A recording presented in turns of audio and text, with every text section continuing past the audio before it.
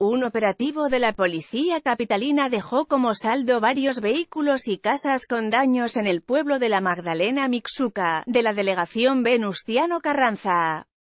Inició en la calle de Roa Bárcenas y se extendió a algunos callejones cercanos. La zona es considerada como punto rojo por las autoridades, en las casas había ventanas y pantallas rotas, muebles y electrodomésticos fuera de lugar y rastros de sangre. Los autos presentaban principalmente las ventanas y parabrisas rotos. Uno de los vehículos que resultaron dañados presentaba varios impactos de arma de fuego.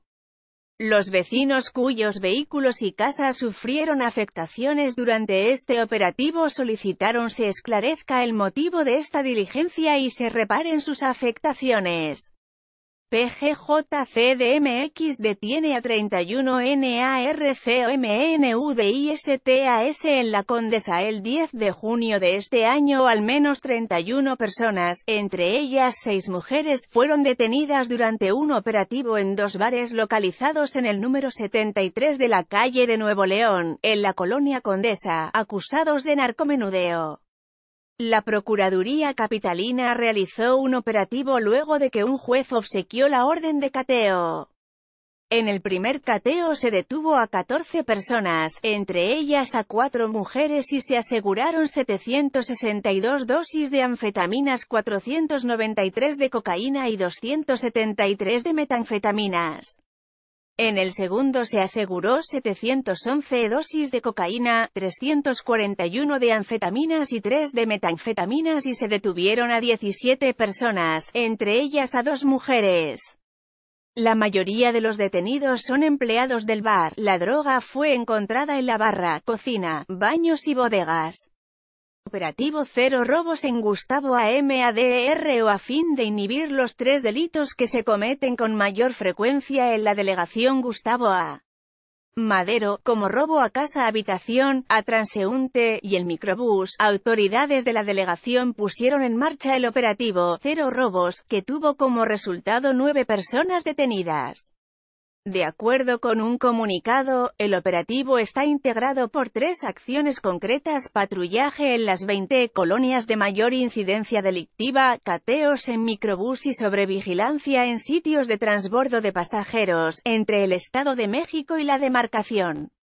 Destacó que el operativo de vigilancia está integrado por 10 vehículos que transitan de manera permanente por las colonias en las que se ha reportado una mayor incidencia de los ilícitos, como San Felipe de Jesús, Nueva Atzacoalco, Cuautepec, Panamericana, Progreso Nacional, Lindavista y Martín Carrera.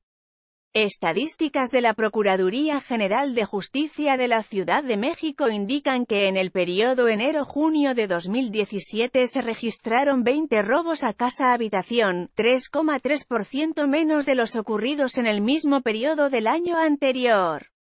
Asimismo, 340 robos a transeúnte, 26,1% menos y 39 a bordo de microbús, 18,2%. Con base en esta información se elaboró un diagnóstico para instrumentar acciones concretas y atacar este tipo de delitos.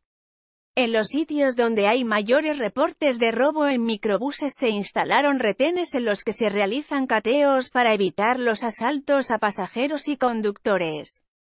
El operativo se fortalece con el plan Frontera Segura, que consiste en intensificar la vigilancia en las colonias que colindan con los municipios de Nezahualcóyotl, Ecatepec, Tultitlán, Coacalco, Tlalnepantla, en el Estado de México. Se complementa con el plan Transporte Seguro, que consiste en la habilitación de dos elementos que viajan en microbuses, y la vigilancia en los sitios de transbordo de unidades entre el Estado de México y la demarcación. La sobrevigilancia se instrumenta en lugares de intenso transbordo de usuarios del transporte público, como el paradero del Metro Indios Verdes y las avenidas Eduardo Molina, Insurgentes y Río de los Remedios, entre otros sitios. Con información de Guillermo Segurayer más, realizan operativo de autobuses en CDMX HVI.